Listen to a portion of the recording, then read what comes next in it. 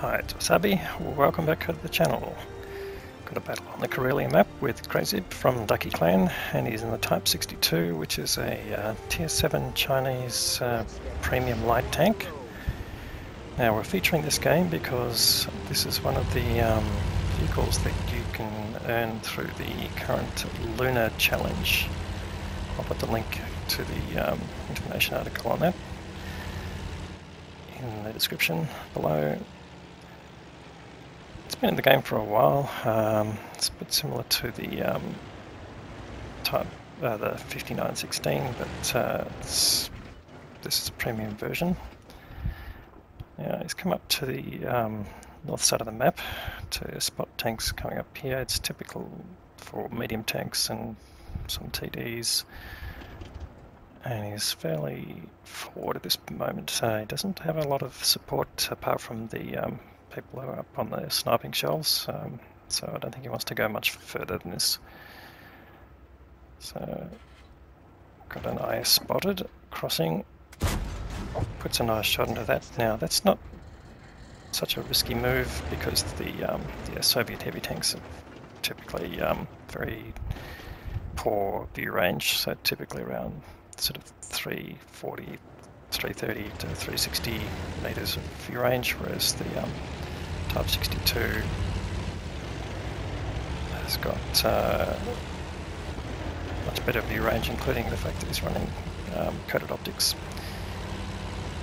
and as well as um, crew food, which will improve the um, overall view range of the tank. I'd say coming up to around 440 or something like that. Now, did spot a Vipera there, and that's probably the trigger for moving back here. He wants to keep the tanks that he's shooting at uh, right at the edge of his view range, so he's looking for a spot where he can shoot. And this part of that was because, you, as you can see, there are no other tanks on that line that he was on apart from the, where the Vipera is. Also fairly forward. So he's going to keep spotting, but he needs the other tanks to shoot, so you can see the only damage that he's done certainly his damage, but um, yeah, no assisted damage there at this point. So Jigsaw has actually him for help. And here we go, AMX 1375. Sitting still, that's a bit odd, but in any case, puts a nice shot into him. And he gets sent back to the garage. There's the IS pushing forward a bit. And can he penetrate with his standard rounds? Yes, he can. Going to the turret. There's KV-3 pushing up as well, but he'll keep shooting at the IS until he gets out of range or out of view. uh, it's putting uh, shots. He'll get another kill here. Yes, so picks up his second kill.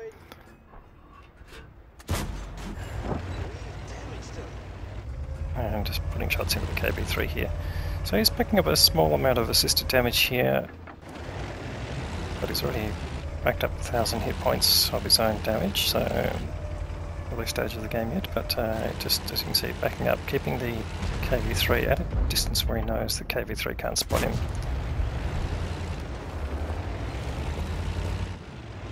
Now he does know there's still a Vipera down there, as well as the Sturer Emil uh, just coming forward here, if he does get spotted, obviously he'll make a quick turnaround. Now,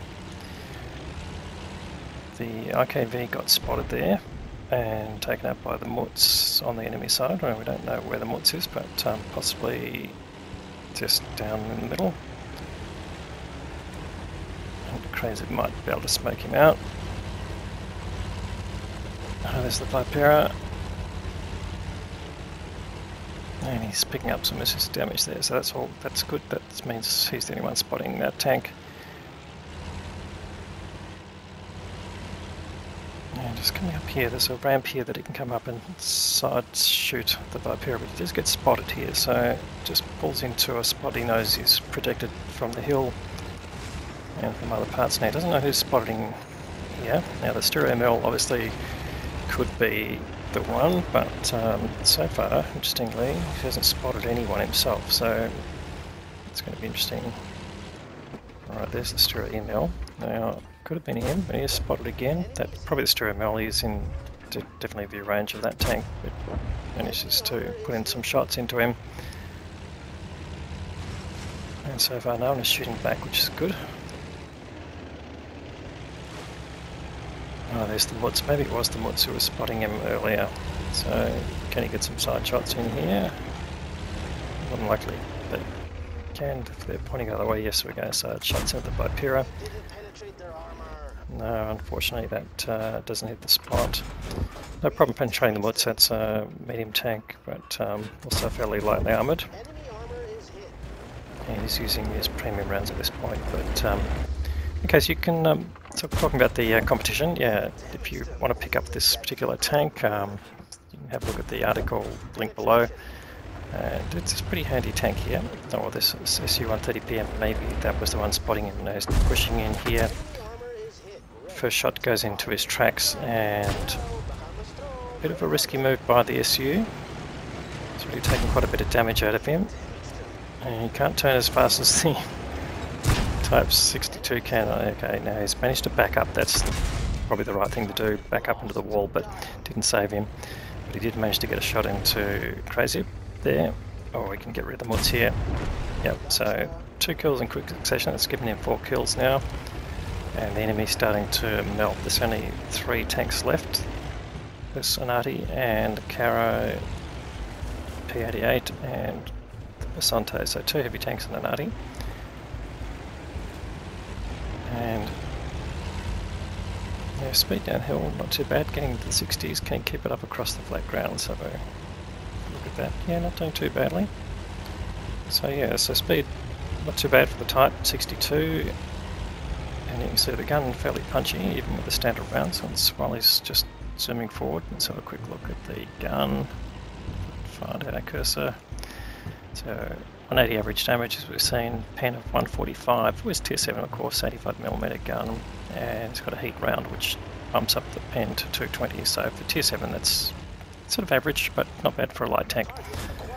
And there's the M12, and puts a shot into him and then gets the assisted damage there, so it's getting closing into um, nearly 4k of damage. Now, did take a hit on his tracks there, so they did spot him. Um, but uh, now the Bisonte is occupied, and he's going to be able to get rear shots into him. Oh, that one didn't hit the uh, armor as he thought. There's only a couple of hit points left there. Okay, Get one more shot in. Bisonte's anyone left.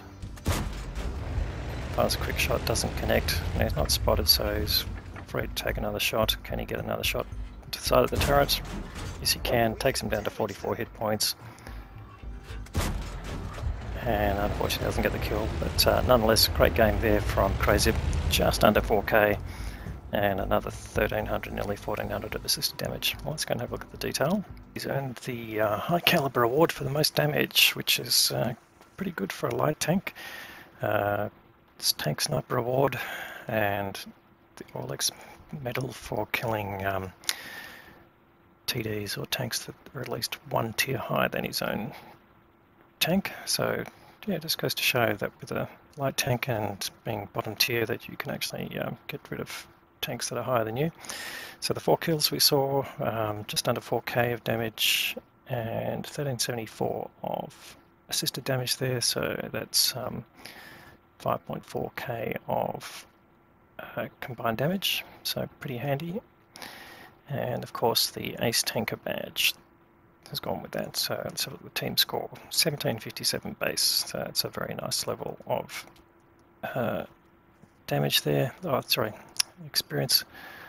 And next best tank was the G-Saw, who was on his flank. Um, only tanks to beat 2k of damage on his team, so nice carry there. The SU-130PM actually came pretty close to damage there. Um, assisted there by getting at least 600k plus out of uh, Crazy from his tank, but uh, was the brakes. But um, yeah, he'd be disappointed with that one and the Bisonte and the Sturer Emil getting over 2k, the other standouts on their team. So yeah, a bit of a wonky game there from the enemy side, but um, Crazy team basically being held up by the two players, including himself. Alright, so what do we want to know? How does it cost to run this tank? Well, it is a premium tank, so that will help dramatically, although tier 7s don't earn as much as tier 8s, of course. So fired 20 shots, 28 shots, 24 hit, and 20 penetration, so good shooting as well. And fire some HE shells there, so that's where the splash damage comes in from. personal reserves running as well as uh, battle payments from the clan. So a total income there of 206, but um, costly from an ammo perspective, 74k had to fire some heat shells there to, to get through the game, and then the consumables there. So, but it still end up making a nice profit of 108k. So, just goes to show that uh, this tank is not too bad. Obviously in the right hands, but um, I think most players who can play light tanks could make this work.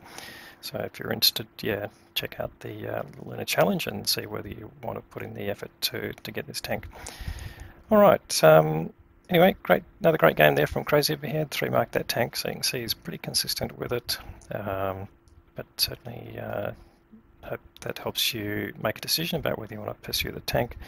Uh, if you like the video, then please give it a thumbs up and if you haven't subscribed to the channel yet, please consider doing that. A lot more great content to follow. Thanks very much for watching.